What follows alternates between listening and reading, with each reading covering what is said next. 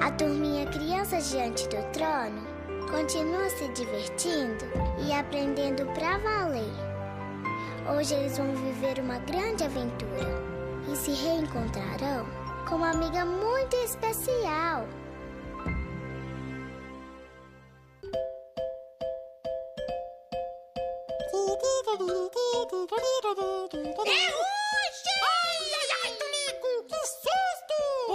Calma, amigão.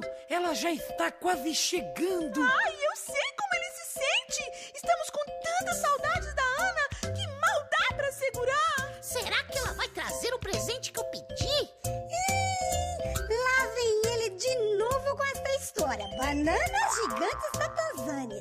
A Ana não foi na feira, Tunico. Ela viajou para pregar a palavra de Deus pelo mundo. Ah, isso mesmo, é verdade, Antonieta. Ô, Tonico, com presente ou sem presente, a gente vai ficar muito feliz com a volta dela, né? Ah, ah. É claro, Bolota! Não aguento mais de tanta saudade dela. Mas já pensou se ela traz as minhas deliciosas bananas gigantes da Tanzânia? Ai, ia ser uma delícia. Ai, ai, a saudade é um bom sinal, Bia. Sinal de que a Ana faz muita falta pra gente. Ela é uma amiga muito especial. Isso aí! E quanto maior a saudade do amigo, mais legal vai ser o nosso reencontro!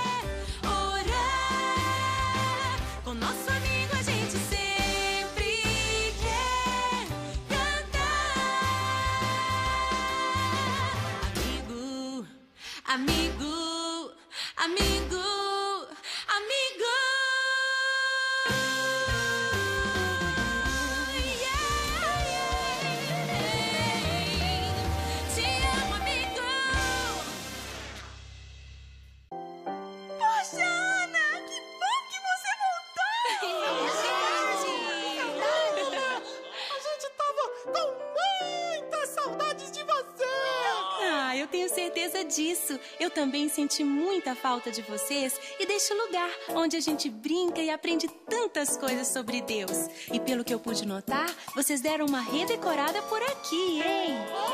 Você gostou? Uhum.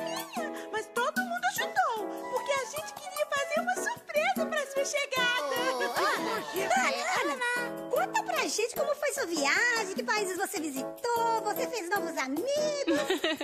Foi muito legal. Eu vou contar tudo pra vocês. Ana, Legal, Ana, legal demais. Olha, eu, eu preciso falar com você. Sempre quis viajar.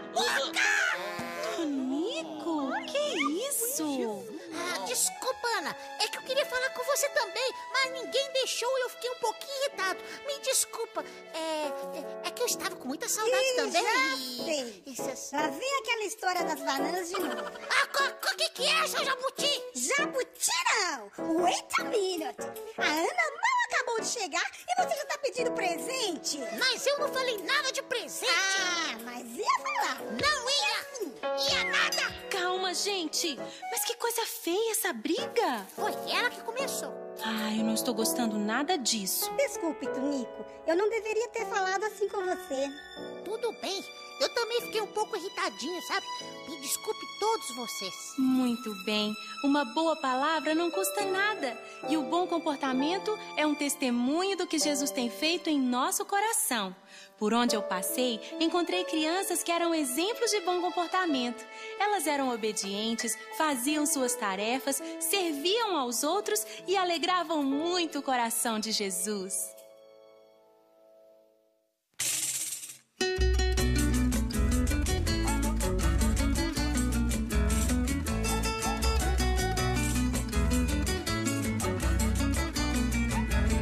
Levantei de manhã,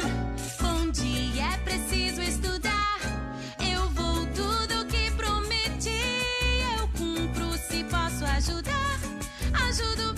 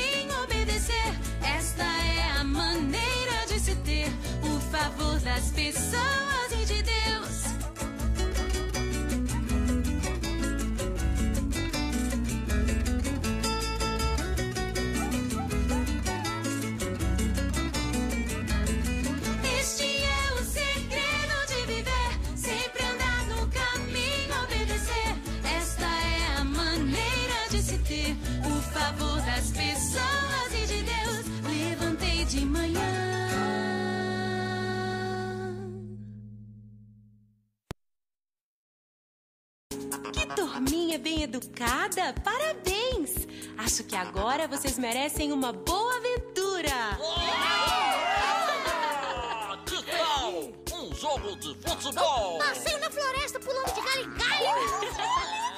Eu não quero saber A gente podia testar uma experiência lá no laboratório. Não, não, vamos brincar de pega-vareta! Ótimas ideias. Mas eu acho que sei o que seria bem legal para todos. Que tal uma nova aventura na palavra de Deus? Já sei para onde vamos. Uau, que doido!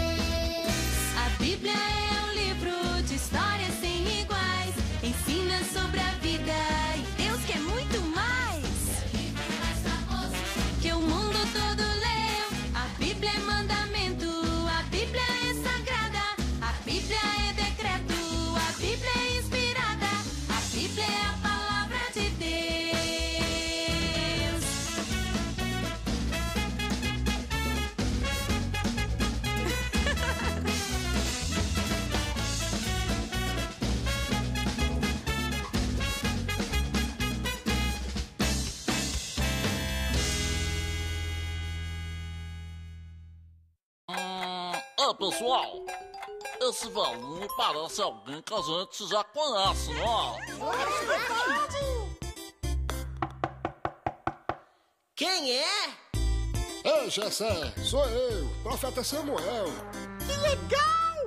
Esse é o Samuel, que nós conhecemos, né? Ele mesmo, o que ouviu a voz de Deus quando ainda era uma criança. Uau! Ele envelheceu, hein? Pois é, Samuel cresceu, continuou ouvindo os conselhos de Deus e se tornou um líder muito respeitado no meio do povo de Israel. Deus disse a Samuel que o rei Saul não estava mais o agradando e um novo rei deveria ser escolhido. E o que, que é que o velhinho Samuel está fazendo aí nessa casa? Deus disse que o novo rei seria um dos filhos de Jessé. É por isso que Jessé está trazendo seus filhos para Samuel conhecer. Uau! É um verdadeiro desfile. Uns mais altos, outros mais fortes. Ah, é um desfile de bonitões. Mas olhem bem pro Samuel. Parece que nenhum desses aí é o que Deus escolheu, não. É mesmo? E agora? Quem será o novo rei? Ah, pra mim vai ser o bonitão da esquerda. Ah, não, não, não. Eu acho que é aquele ali mais gordinho. Bolota.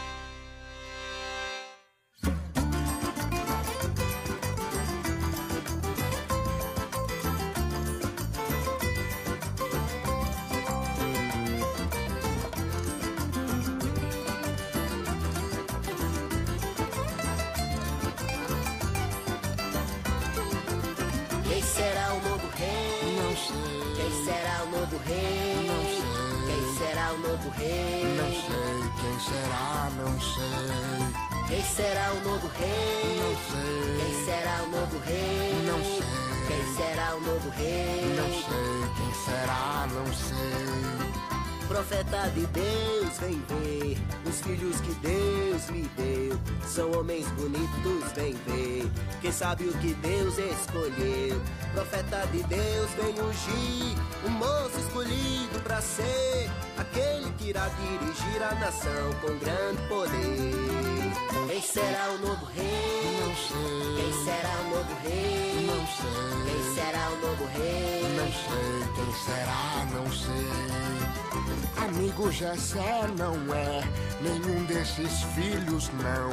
Mas eu continuo com fé que hoje haverá unção. Amigo Jessé, ouça bem, não importa a beleza, não. Deus irá escolher alguém que possua um bom coração. Quem será o novo rei? Não sei. Quem será o novo rei? Eu já falei que eu não Quem sei. será o novo rei? Não sei quem será, não sei. De onde é que ele vem, hein? Ah, é, isso eu sei. De onde ele vem? Eu sei. De onde ele vem? Eu sei, ele vem de Belém. Quem será o novo rei? Não sei. Quem será o novo Eu vou ter rei? que falar quantas vezes. Oxente, eu não sei. Não sei quem será, não sei.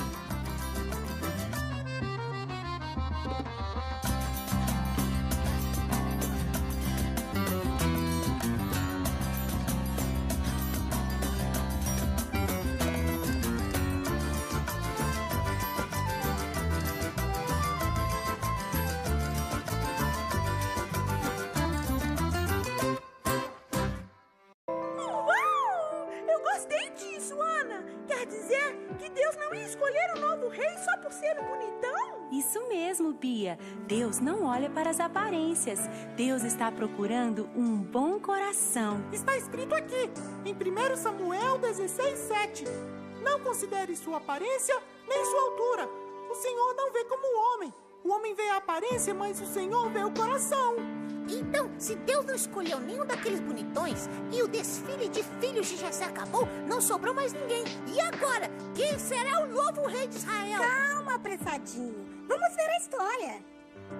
Gessé, meu amigo, não tem nenhum outro filho, não? Tem sim, mais novo. É ainda muito jovem. Davi é um pastorzinho de ovelhas. Eu. eu.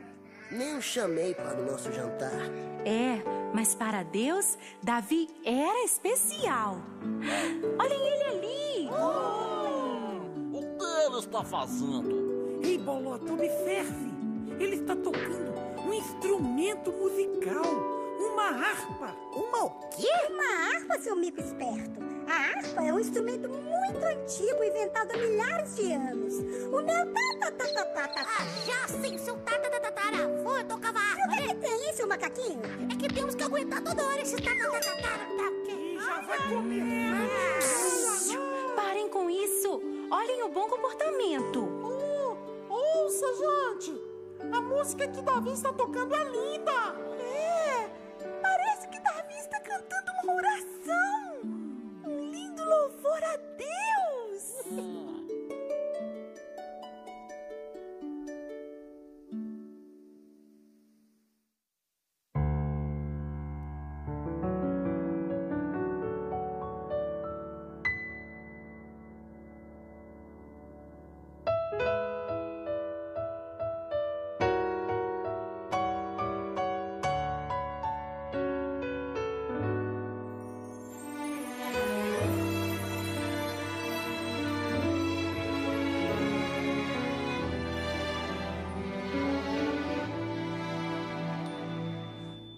Senhor é o meu pastor e nada irá me faltar. Ele tem por mim um grande amor, em campos seguros me faz deitar. O Senhor é o meu pastor irá me faltar. Ele é quem renova o meu vigor, em justos caminhos me faz andar.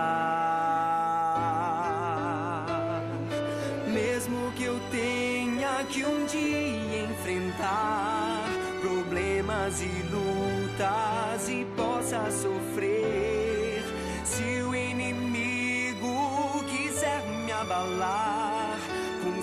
suas mentiras, tentar me prender, não vou temer, vou confiar, o Senhor virá me salvar.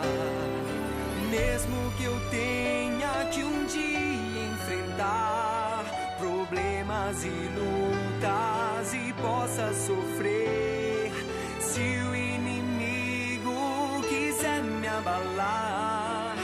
suas mentiras, tentar me prender, não vou temer, vou confiar. o Senhor virá me salvar. O Senhor virá me salvar. O Senhor é o meu pastor e nada me faltará. Deitar-me faz em verdes pastos, guia-me mansamente às águas tranquilas. Refrigera minha alma, guia-me pelas veredas da justiça, por amor do seu nome. Ainda que eu andasse pelo vale da sombra da morte, não temeria mal algum, porque tu estás comigo. A tua vara e o teu cajado me consolam. Preparas uma mesa perante mim, na presença dos meus inimigos. Unges minha cabeça com óleo, o meu cálice transborda. Certamente que a bondade e a misericórdia me seguirão todos os dias da minha vida, e habitarei na casa do Senhor por longos dias. Mesmo que eu tenha que um dia enfrentar sofrer, se o inimigo quiser me abalar com suas mentiras, tentar me prender,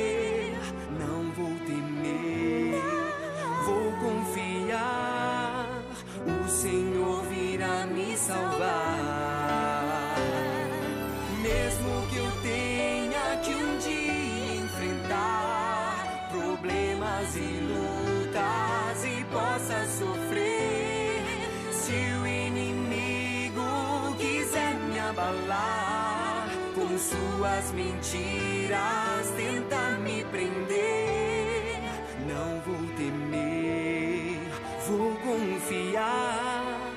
O Senhor virá me salvar. O Senhor virá me salvar. O Senhor virá me salvar.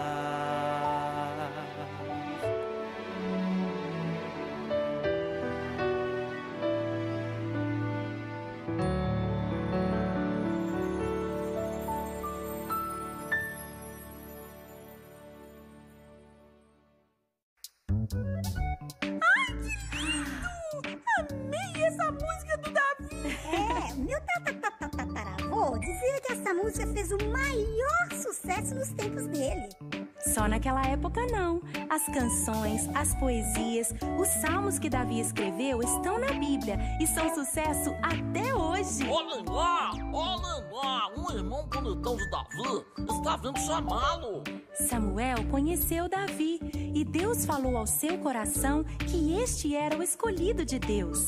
Naquele dia, Davi foi ungido rei de Israel. E Davi virou rei assim, de uma hora para outra, ainda jovem. Meu miquinho, a Bíblia conta que Davi estava só começando a ser preparado por Deus para um dia assumir o E reino. você acha que tudo tem que acontecer rápido, né, seu apressado? Ana, olha ela, olha ela aí.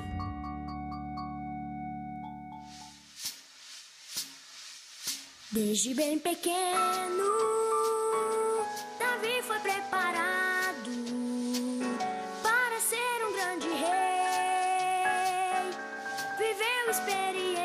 experiências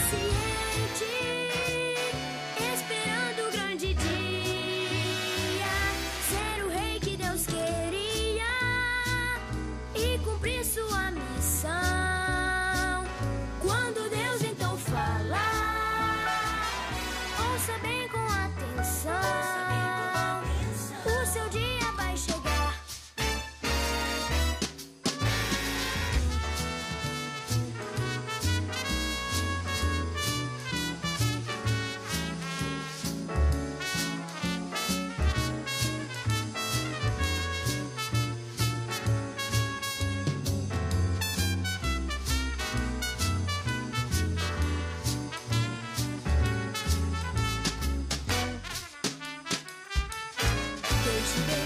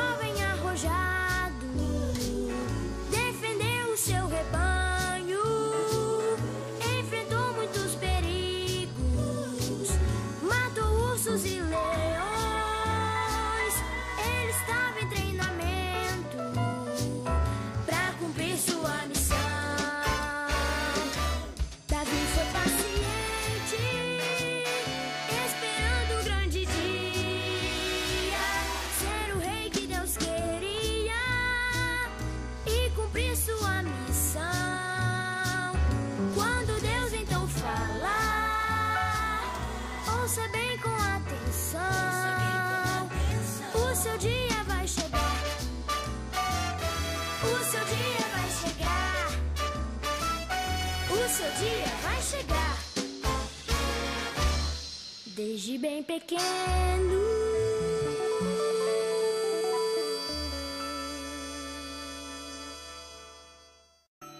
Em todas essas experiências, Deus estava preparando Davi para cumprir o propósito de ser rei sobre Israel.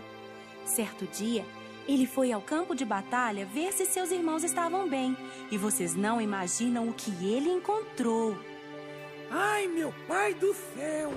Depois de ursos e leões, o que mais esse rapazinho teve que enfrentar? É, Davi chegou no acampamento do exército de Israel e encontrou seus irmãos e todos os outros soldados hum, morrendo de medo de Golias.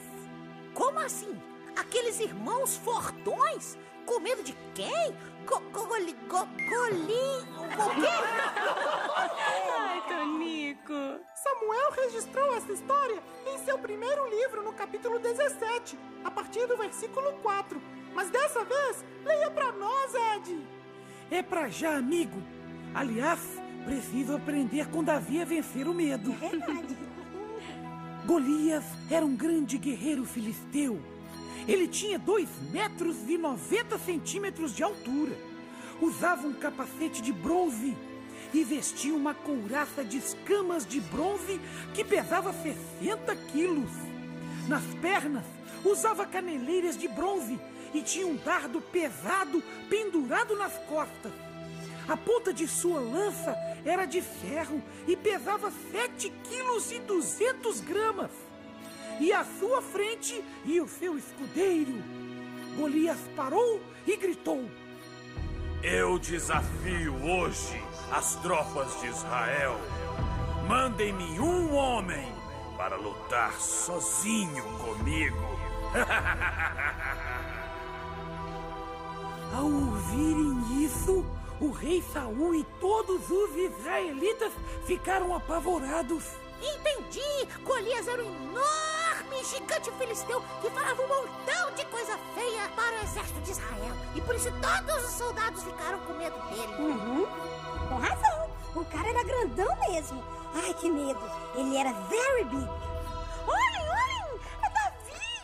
Ele está entrando na tenda do rei Saul! E parece que ele está pedindo para enfrentar o gigante. Ajuda! Isso mesmo. Saul até tentou oferecer sua armadura para Davi lutar contra o gigante Golias, mas não coube nele. Ficou grande, desengonçada, e Davi não conseguia nem andar com aquilo. Mas, mas, mas com que será que Davi vai enfrentar o gigante? Acredito que já aprendi uma lição hoje. Se Deus sempre nos prepara para enfrentar o que precisamos, Davi já possuía alguma técnica ou estratégia para vencer esse desafio. Olha lá! Davi pegando cinco pedrinhas do ribeiro. Mas ele vai lutar com isso? Acho que Davi já estava acostumado a jogar pedrinhas com sua funda, com seu estilingue.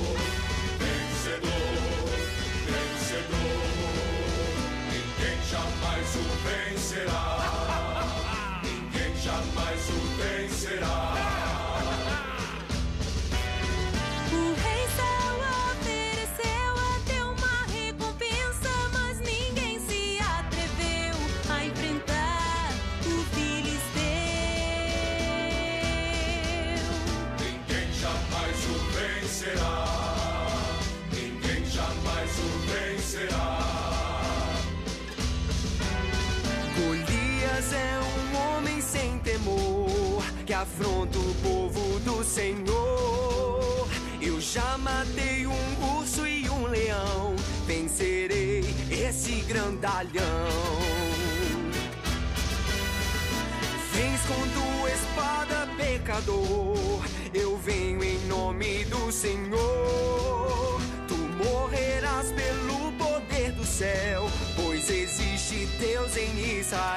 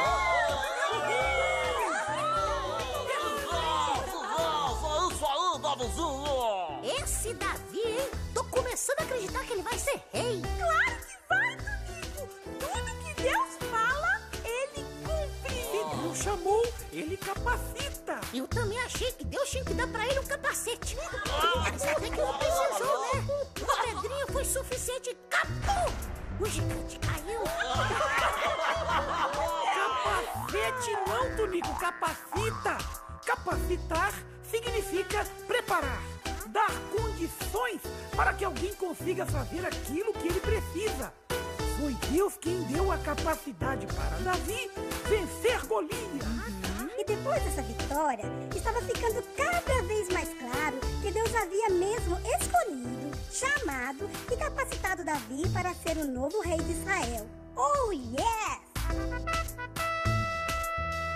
Olha! Davi se tornou rei!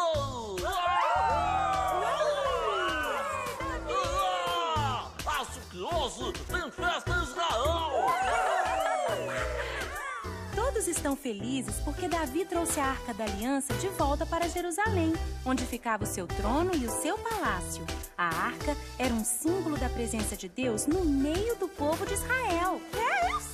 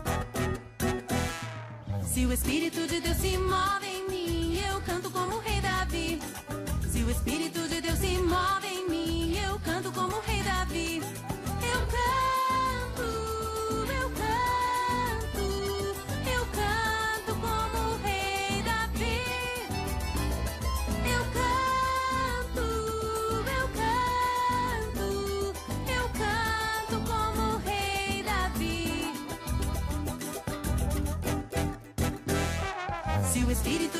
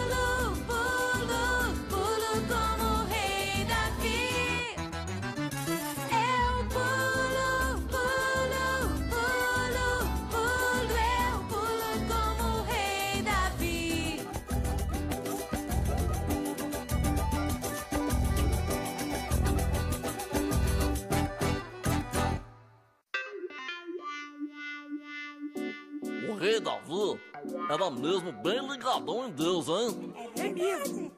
Quando Davi ficou bem velhinho, ele sonhava em construir um palácio para Deus. É, a casa dele era tão bonita, né? Acho que ele queria fazer uma casa mais bonita ainda pra colocar a Arca da Aliança.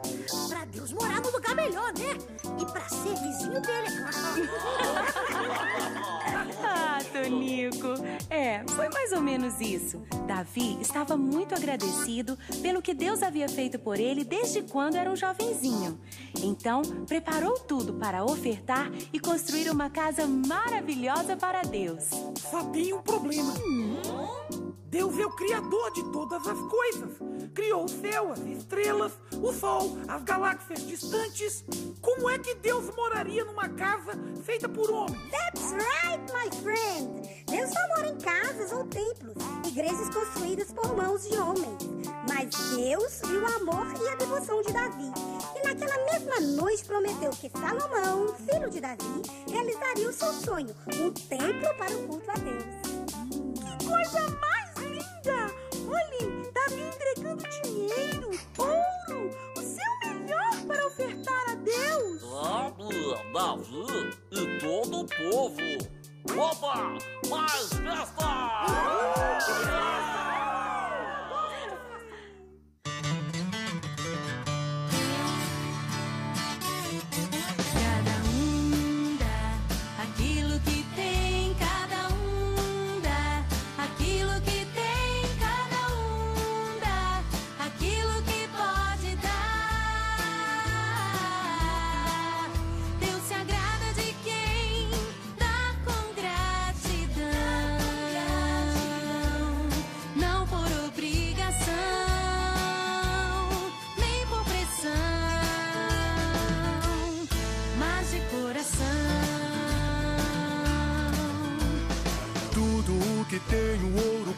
bronze, quero doar. Ferro e madeira também posso para a obra ofertar. Quem está disposto a também trazer oferta ao Senhor? Consagre sua vida, não espere, venha logo entregar. Deus se agrada de quem com gratidão, não por obrigação, nem por pressão, mas de coração.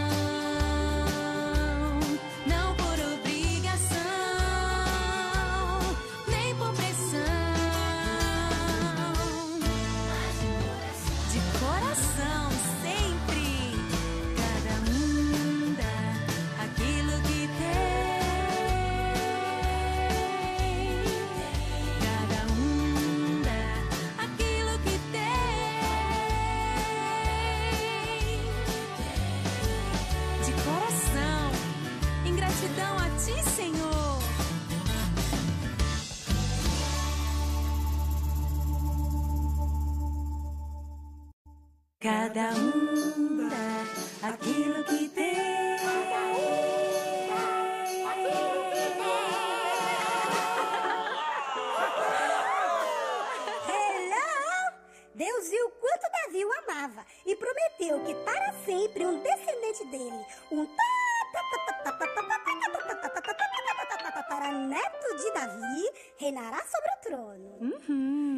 Acordo com os meus estudos das genealogias bíblicas, ou seja, do registro da filiação e nascimento, nomes de pais e filhos que lemos nas escrituras sagradas, Jesus é um descendente de Davi.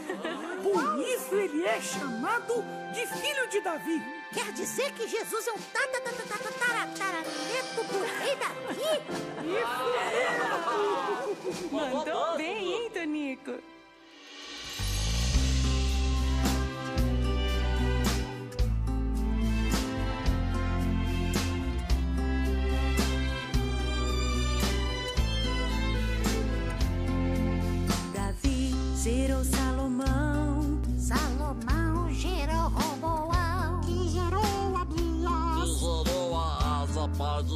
Que gerou Jorão. Que gerou Osias. Que gerou Jotão. Que gerou Acas, pai de Ezequias, pai de Manassés. Que gerou Amon. Que gerou Josias, pai de Jeconias. Jefonias gerou Salatiel. Salatiel gerou Zorobabel. Que gerou Abiúde, pai de Eliaquim. Que gerou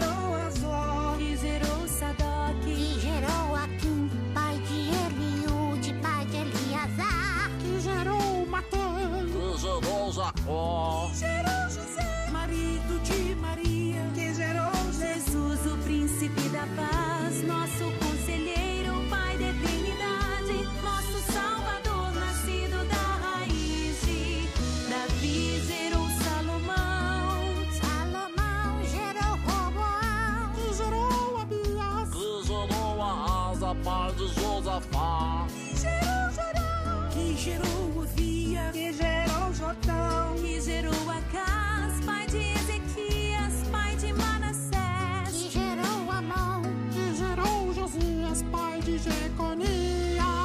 Jefonias gerou Salatiel.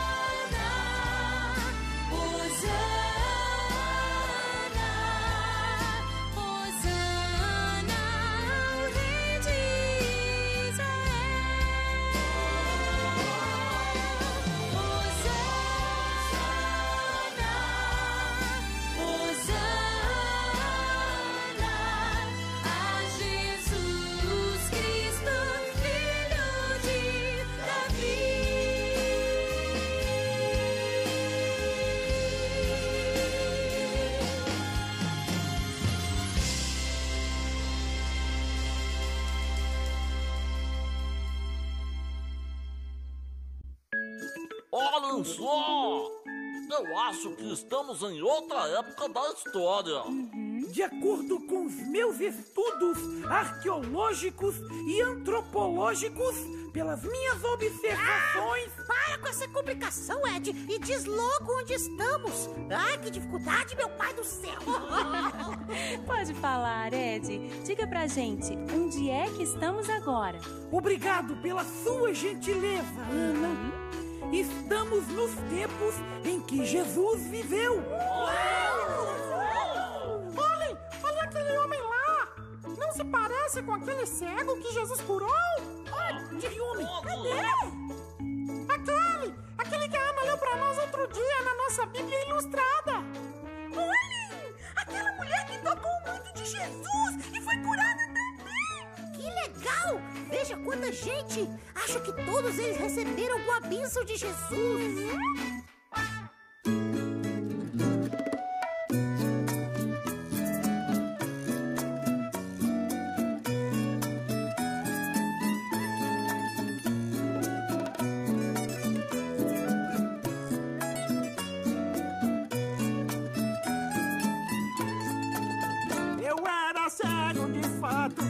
Agora vejo a luz. Amigo, sou testemunha do poder de Jesus. Eu era surdo e mudo, agora posso escutar. Louvores vamos cantar. Glória a Jesus que veio para nos curar. Sempre andei encurvada, mas Jesus me curou. Minha amiga acredite, tudo se endireitou. Eu tinha um fluxo de sangue que parar. Louvores vamos cantar. Glória a Jesus que veio para nos curar. Estive morto, acredite, Jesus me ressuscitou. A minha filha também, Jesus da morte tirou. Vocês se lembram de mim? Sou a viúva de Naim. Jesus ressuscitou, seu filho lembro sim. Jesus teve compaixão de mim. Eu era endemoniado, não conseguia falar. Mas Jesus me curou, hoje posso louvar. Jesus curou o meu servo que não podia andar. Eu era surdo e gago, agora tenho voz. Jesus Teve compaixão de nós. Fui leproso de fato, mas Jesus me limpou.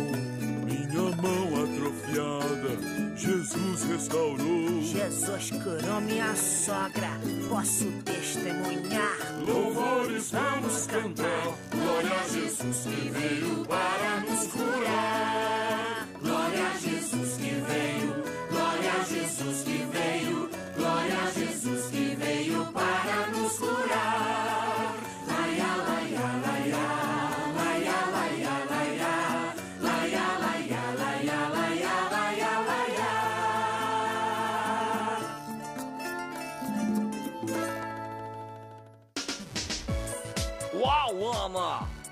Aventura emocionante nós vivemos hoje, hein? Puxa, né? Ah, hoje foi demais! Teve danças, milagres e até luta contra gigante!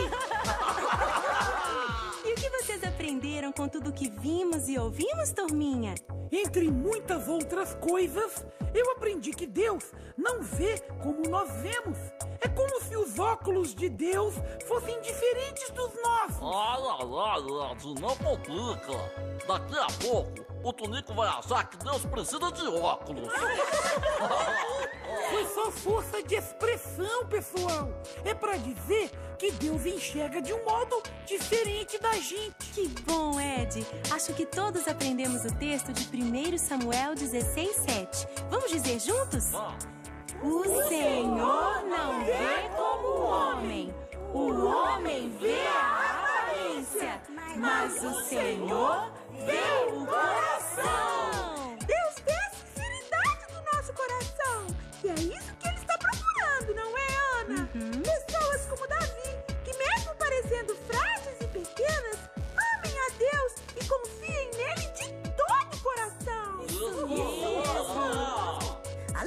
Disso, eu aprendi que Deus quer nos usar assim como ele nos fez com os dons e talentos que ele nos deu e que não devemos ficar nos comparando e tentando usar a armadura dos outros. E você, amiguinho, também aprendeu lições importantes na aventura de hoje? Lembre-se sempre que Jesus, o ta ta ta ta ta ta ta do rei Davi, ama você e é poderoso para abençoar a sua vida, sua escola e a sua família. Abra seu coração para Jesus e seja como Davi, amando a Deus e o adorando com todas as suas forças. Acho que o restante da minha bagagem chegou. Uau! que caixa enorme! Uhum. Tonico, acho que é pra você. Bananas gigantes da Tanzânia!